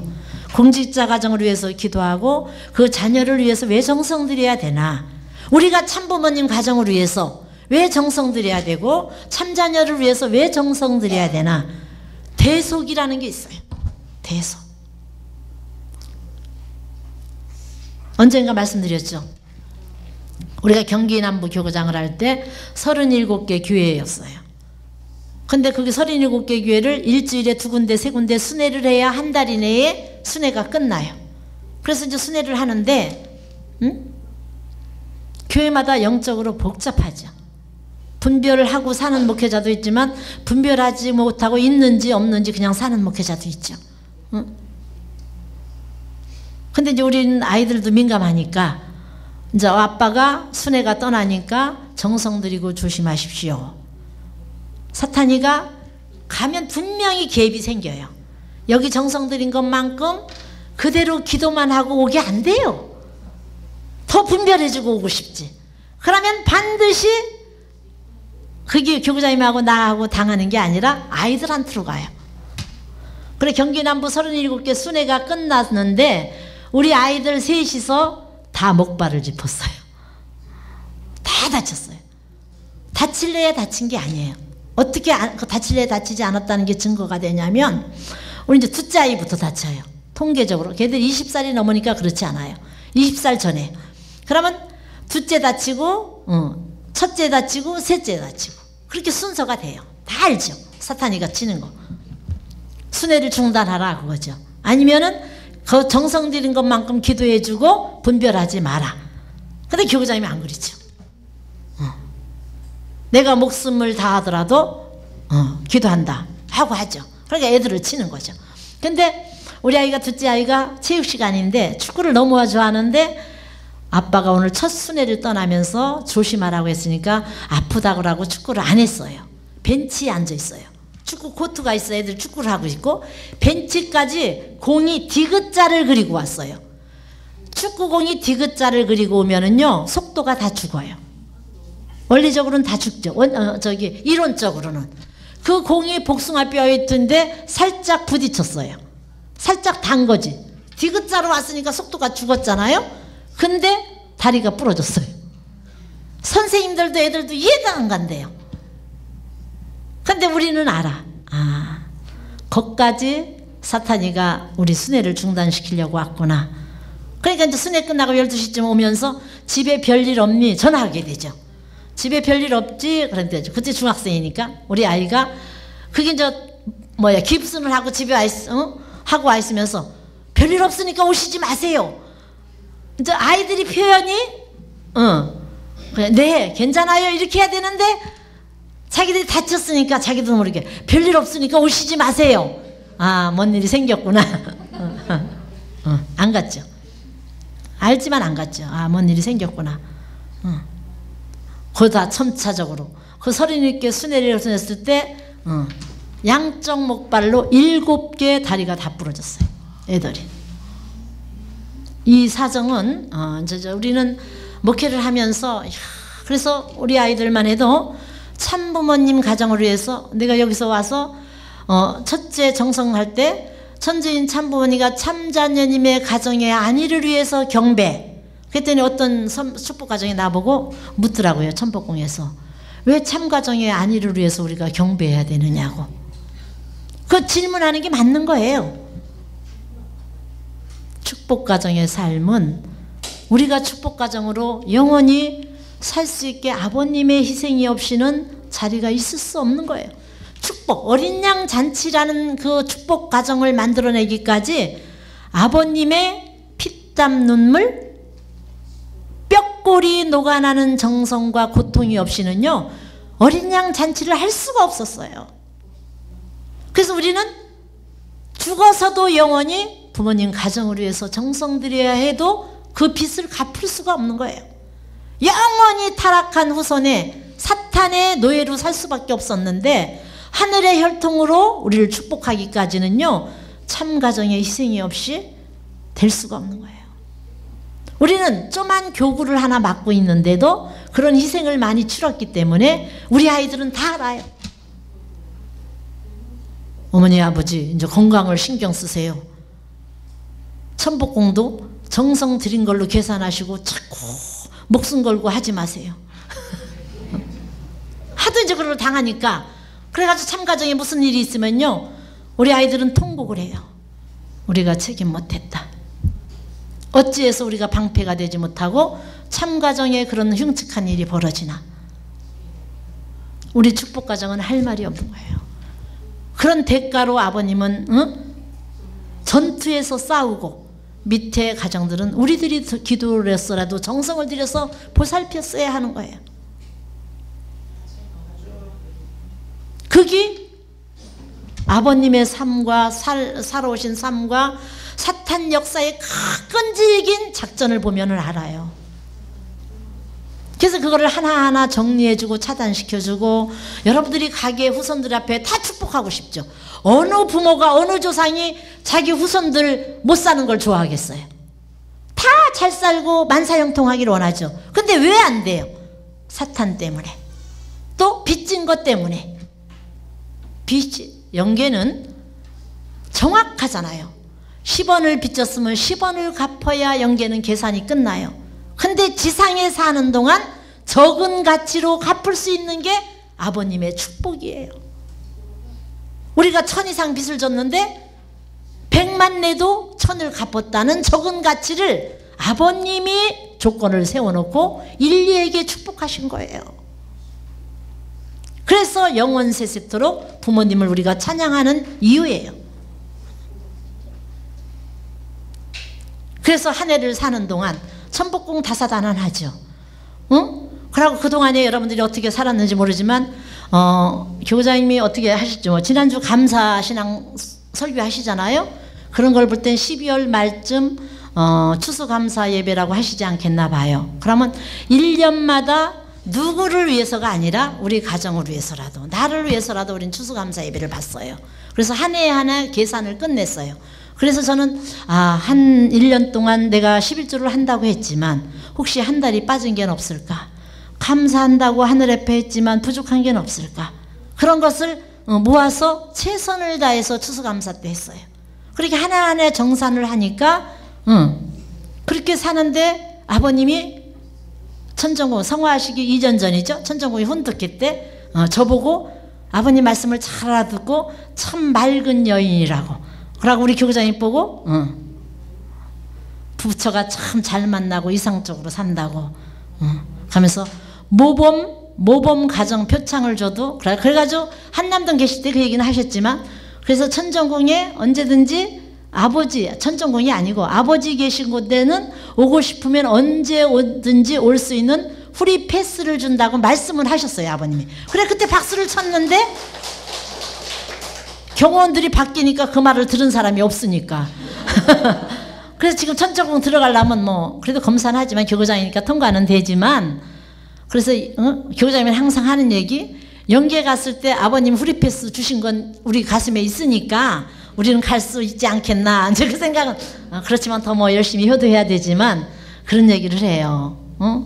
근데 나름대로 저는 매년 계산도 했고 어?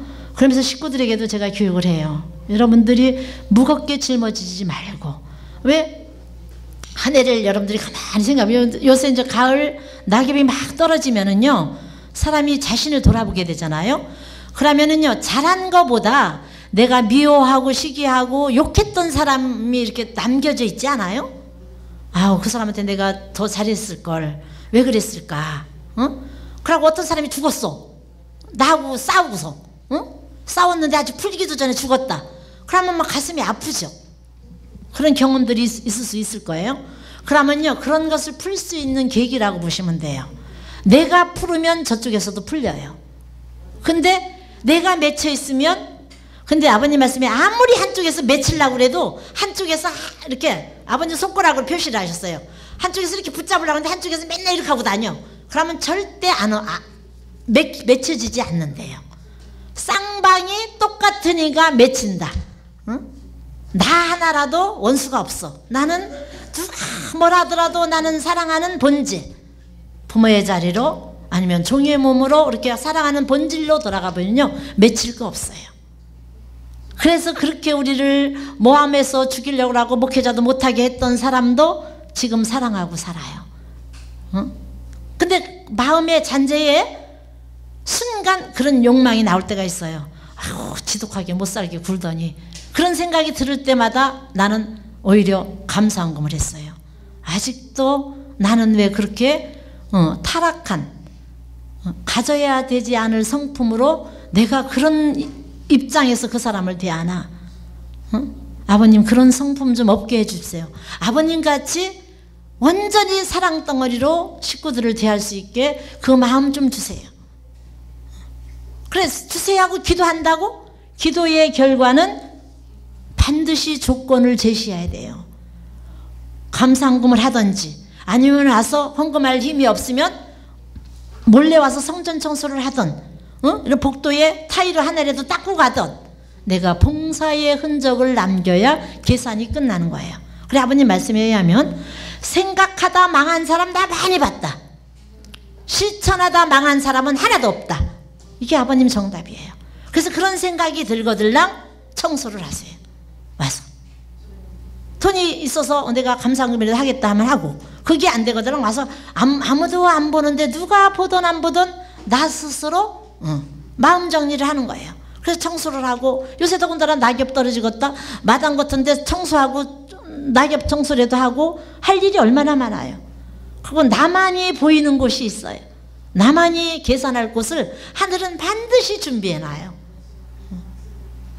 그렇게 해서 정리를 한다면 자녀의 날을 맞으면서도 여러분들이 예전에 무수히 맞았던 자녀의 날보다 이번에 자녀의 날은 기원절을 맞고 진짜 참 자녀로서 기뻐서 소망차서 기다리는 어, 그런 자녀의 날로 어떤 세상의 명절보다도 하늘이 기뻐하고 나도 기뻐할 수 있는 하나님과 어, 교제할 수 있는 그런 자녀의 날로 막기 위해서 여러분들이 준비를 해야 돼요. 여기 나오죠. 통일교회에서 자녀의 날을 결정했다는 것은 아담과 헤아가 뿌린 죄악의 씨를 뽑아버리고 인류를 악으로부터 해방시킬 수 있는 기원을 만들었다는 말입니다. 이거 얼마나 어? 어마어마한 얘기예요. 아담이아가 뿌린 죄악의 씨를 뽑아버리고 인류를 악으로부터 해방할 수 있는 기원을 만든 것이 자녀의 날이에요. 근데 우리가 그 하나님의 자녀로서의 면모를 갖추어서 기쁘게 기다리고 소망 삼아야 되는데 세상 명절보다도 등한시하고 자녀를 지나갔대. 이건 아니죠. 응? 그동안 인간이 자녀의 날을 세우지 못했기 때문에 만물도 해방을 받지 못하고 탄식권 내에 있었고 하나님도 탄식권 내에 머물러 계셨습니다. 그래서 자녀가 나타나면은요 하나님도 해방되고 자녀가 나타나면 물질은 따르게 돼 있어요. 그래서 축복 가정들이 원리적으로 이렇게 계산하고 사는 사람은요 아버님 성화 3주기 지나면서부터 하는 것마다 잘 된다. 그러고 물질이 없는 사람 간구하면 계시가 와요. 기도. 아버님 어머님이 하나님이 창조하신 그죠? 인간이 본연의 인간이 생육하고 번식하면 만물을 주관하고 살으라고 창조해 주셨어요. 그 본성 회복이 되면은요, 본연의 세계가 되면요, 우리가 의식주 때문에 축복 가정은 걱정할 필요가 없는 거예요. 그래서 자녀의 날을 갖지 못함으로 말미암아 만물의 날도 갖지 못했고 만물의 영광의 자리에 나아가지 못했습니다. 그래서 만물 앞에 원한이 남아진 것입니다. 또한 하나님이 기뻐하실 수 있는 영광의 날을 맞이하지 못했습니다. 그렇게 된 모든 원인이 자녀의 날을 세우지 못한 데 있습니다. 사실 축복 가정들의 속죄, 축복 가정들이 하늘 앞에 제일 먼저 가까이 다가가는 것은 자녀의 날이에요. 자녀의 날이 있음으로 말미암아 하나님 날 부모 처음에 부모의 날이지만 부모가 생겨났어야 자녀의 날이 생기죠. 그런 말면 하나님도 해방되고 만물도 해방된다. 응? 그래서 여기 나와요. 타락한 인간에게 있어서 명절 중 제일 큰 명절은 부모의 날보다도 자녀의 날입니다. 여보의 자녀의 날이 있음으로 말미암아 하나님도 기뻐해서 부모의 자리가 아니 그날은 부모의 권한을 다시 찾는 날이요 6천 년 동안 인류 역사를 유린하던 사탄을 물리치고 승리의 깃발을 들고 나타나는 날입니다. 타락한 인간은 그날을 맞아야만 하늘나라에 들어갈 수 있고 하늘 부모를 모실 수 있습니다. 자녀의 날을 통과하지 않은 사람은요, 하나님을 하늘나라에도 갈 수 없고 하늘 부모를 모실 수도 없어요. 통일교회 교인들이라도 교인들끼리만 가서는 하늘 부모를 모실 수 없습니다. 이 뭔 말인 줄 아시죠? 다리를 놓아서 모셔야 됩니다. 그러니 남자 여자 할 것 없이 전부 영계에 가 있는 사람들에게 다리를 놓아 주어야 됩니다. 이날은 통일 교인들만이 아니라 앞으로 세계 만민이 영원히 지켜야 될 날입니다. 타락한 인간에게 제일 복된 날이 자녀의 날입니다. 그 자녀의 날이 11월 12일이에요. 지금 이제 뭐 일주일 정도 안 남았지만 늦었지만 지금이라도 여러분들이 자녀의 날을 위해서 어, 특별 정서 어, 목욕 재개를 한다든가 아니면 혼독회를 더 열심히 하신다든가 하면서 자녀의 날을 하고 아이들에게도 응? 그날 저 학교 가고 직장 생활하는 사람 못 오죠. 아침 7시 경배식이니까. 그렇게 되면은 오늘 자녀의 날이니까 그날 특별 메뉴를 해서 애들에게 먹인다든가. 어? 아니면 자녀의 날이기 때문에 겨울이 오기 전에 애들이 특별히 선물을 줘야 할 게 있잖아요. 아니면 고전날 수능이긴 하지만 수능 끝난 아이들에게는 자녀의 날이라 하나님이 얼마나 기뻐서 우리 아들딸에게 응? 요거 요거를 선물을 해주라고 엄마한테 하나님이 계시하셔서 엄마가 준비했어 몇 해 자녀의 날을 기념하면서 선물 이렇게 해서 자꾸 아이들이 인식하고 인지하고 야 자녀의 날을 맞으니까 우리 집이 화목하고 우리 엄마 아빠 마음이 너그러워져서 그날 용돈도 많아지고 아니면 뭐가 원하는 게 생기네? 이렇게 소망으로 기다리게 키워야 돼요. 음. 그리고 여러분들 설날 추석날 애들이 세뱃돈 받는 맛에 설날을 기다리잖아요. 여러분들 아들딸 보면은요. 우리 아들딸들도 그래요. 세뱃돈 많이 주는 집부터 가려고 그러더라고. 그러고 그 집은 안 빼놓고 가려고 그래요. 근데 별 볼 일 없는 집은 안 가두고만 가두고만. 설날을 설날 하면은 세뱃돈과 잘할 때는 직결돼요. 그러면 많이 주는 집을 가려고 그래. 그러면 하나님이 원하고 찾고 싶었던 자녀의 날. 그러면 자녀의 날을 소망 삼고 기쁘게 기다릴 수 있게끔 누가? 우리 축복받은 부모가 그 환경을 만들어줘야 돼요. 세상의 설날 추석보다 어? 자녀의 날, 부모의 날, 응? 참부모님 탄신, 우리 그 8대 명절 있잖아요. 그것을 여러분들이 달력을 받으면 세 달력에 그거부터 표시해야 되는데 어? 지금 젊은 세대들은 결혼 기념일 어? 시부모 생일 관심 없어 지들 생일 그건 세상 문화예요 우리는 자녀의 날 8대 명절부터 그 참자녀 뭐 우리 이제 카렌다에 참자녀나 우리 교회 국경일은 다 나오니까 어, 다행이지만 그런 것을 다 체크해 보셔야 돼요 그래서 하늘의 전통 이에 기원절 3년이 지나가고 있어요. 아버님 성화 3주기로 기원절이 보대로 드러난 적이 없어요. 성화 3주기로 아버님이 우리에게 더 어? 뭐야 회개할 수 있는 기간 그걸 주신 거예요. 이제 회개 기간이 지나서 어? 하늘의 천법으로 치리하는 게 기원절이잖아요. 그러면 선하게 사는 사람, 희생봉사한 사람들이 드러나는 시대잖아요. 그러니까 축복 과정은 이제 복 받을 일밖에 없어요. 근데 그런 잔재, 내가 마음에 누적된 게 있다. 그러면 지금부터 정성 들여서 봉사를 하든 물질적으로 하든 잘 모아놓으셨다가 어, 추수감사 예배를 드린다 하면은 그때 하세요. 그래서 그동안 매년 하신 분도 있고 못 하신 분이 있다면 일생일대기를 한번 정리하는 마음으로 준비하세요. 연계 가기 전에 1년 1년마다 그런 기회를 가지시면은 가실 때 가벼워요. 그렇게 준비시켜서 연계 가신 분 받고 갑자기 돌아가셔서 그런 준비 없이 가신 분 어, 성화식장에 가서 기도해 보면은 너무 하늘과 땅 차이에요.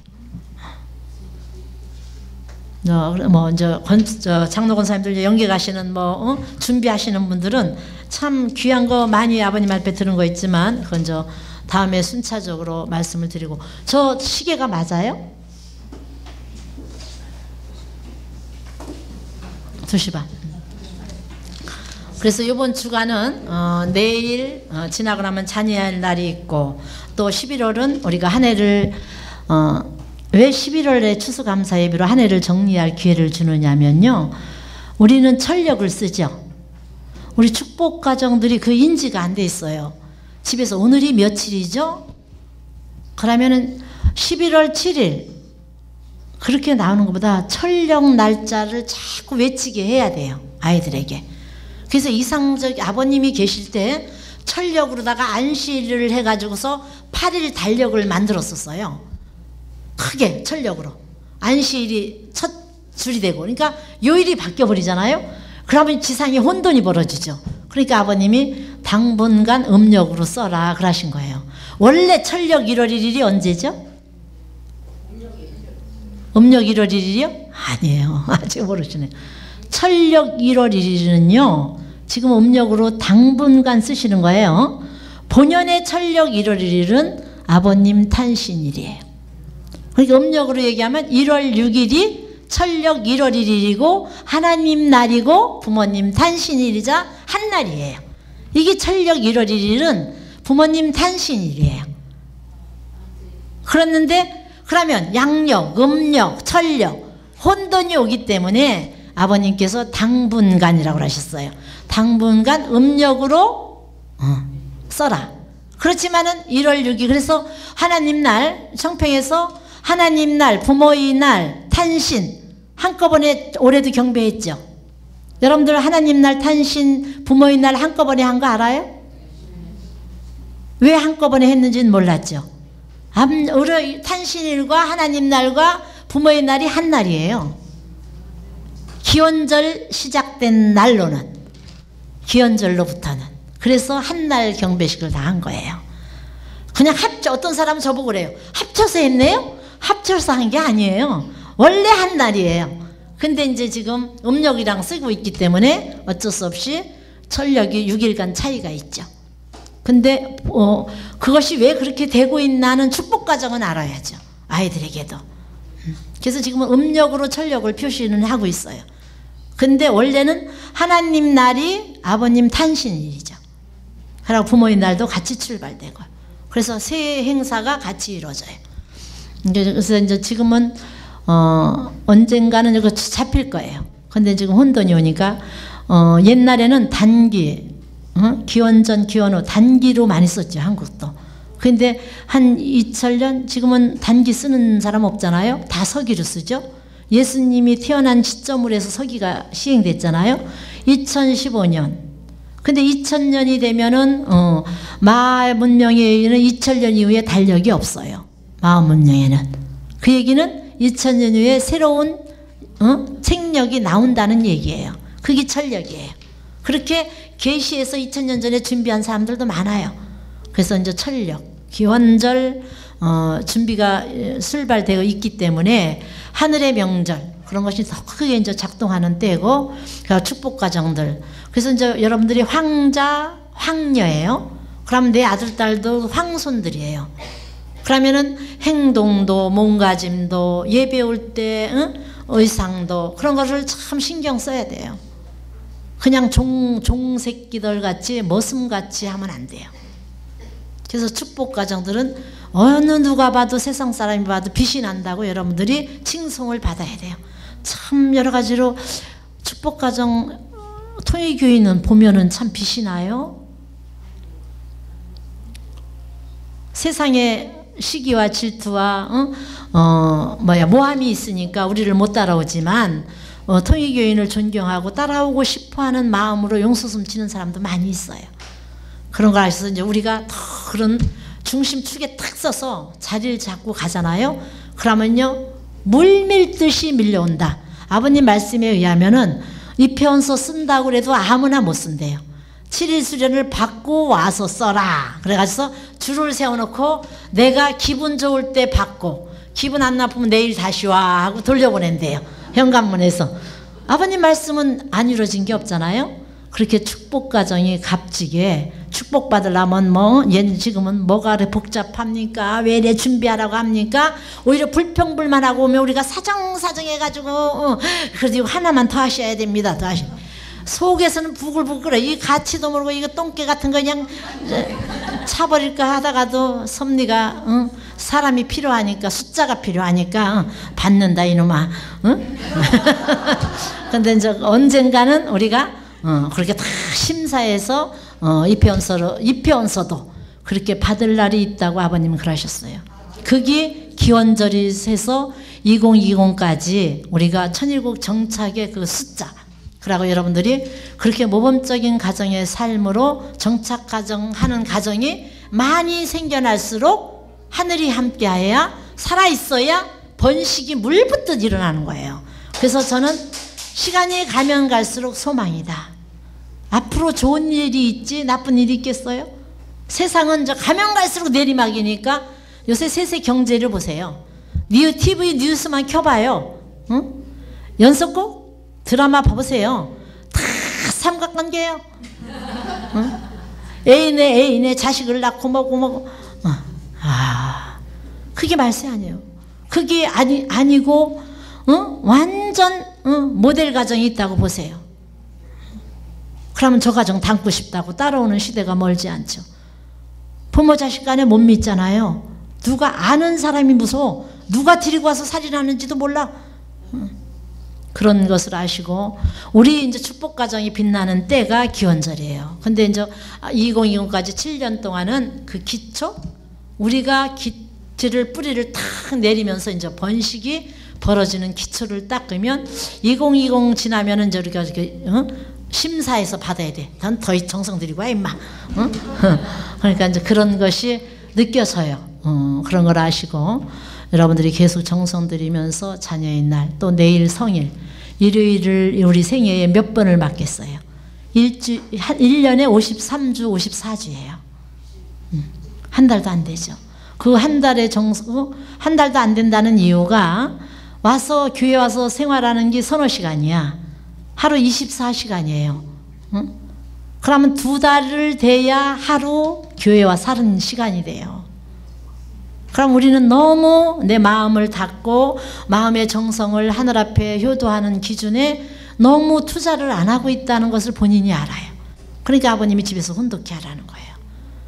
교회 와서 여러분들이 10시에 와가지고서 어? 2시에 간다. 2시 전에 뭐 다 가고 없어. 가서 보면은. 그러면 4시간이 있다고 해보세요. 어? 그러면 4, 6, 24, 6분의 1이요. 그죠? 6일, 6주를 와야 하루야, 하루.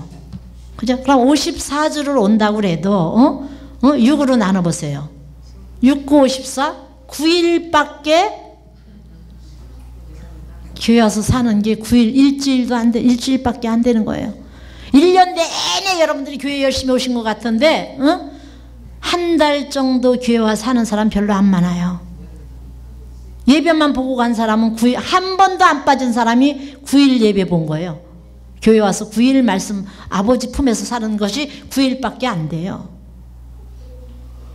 이제는 가을절기고 자녀의 날도 맞기 때문에 자기를 돌아보고 계산해야 돼요. 내가 말씀과 더불어 살았던 삶의 시간이 몇 프로인가? 응? 왔다 갔다 하고 응? 돈 벌러 다니고 그런데 더 많이 투자를 했지. 그렇게 냉철하게 분석해 와서 저울을 다르면 연계 갈때 응? 내 저울이 가벼운 거 알면서도 왜 가벼우냐고 따져. 자기가 투자를 안 했는데. 응? 1년 54주 한 번도 빠지지 않고 나와야 9일간 하늘과 더불어 사는 시간이 그냥 4시간을 해, 할애해줘도 계산이 되잖아요. 그런 삶으로 한번 정리해 보시면은 가을이 쓸쓸하지 않고 참 기쁘고 감사하게 수확할 게 많은 계절로 여러분 마음속에 남을 거예요. 그래서 나날이 승리하고 나날이 행복한 어, 진짜 천복궁의 천복을 받는 우리구나 하는 그 자부심에서 모범된 삶으로 한 가정 한 가정이 자꾸 나타나야 여기 번식이 벌어지죠. 그러면 어디 뭐 어디 간다 어디 간다 나갈 수가 없어요. 사랑이 강한데 끌려오죠. 그래 강한 사랑을 가진 우리로서 그런 어? 자석보다 더 강하잖아요. 먼 빛으로 아버님만 볼 수 있다면 어? 예수님 시대도 사개오가 오죽답답한 뽕나무 에 올라가가지고 예수님 바라보려고 그랬어요. 음? 안전뱅이 저 어, 뭐랄까 사개오가 어, 난쟁이잖아요. 난쟁이. 난쟁이 알아요? 키가 작은 사람, 못 크는 사람. 난쟁이가 꽁뽕나무에 올라가서 봤을 때 사개오 내려오라고 그러셨잖아요. 그와 똑같이 그 그리움으로 교회만 오면 천복궁에 와서 딱 발만 천복궁에 들었으면 편안하고 그래서 여기 천복궁 교장님하고 매일 성, 별도 하고 정성 드리고 있어요. 천복궁에 발을 들여놓는다 참사랑에 다 녹아나는 식구가 되라. 음, 그러고 지금 정성 드리고 있어요. 그러니까 여러분들도 그렇게 되다 보면 어, 참 복받는 또 축복가장으로서 감사할 일밖에 없어요. 그런 삶으로 여러분들이 풍성한 어, 이 가을을 맞이하시길 바라겠습니다. 기도하겠습니다.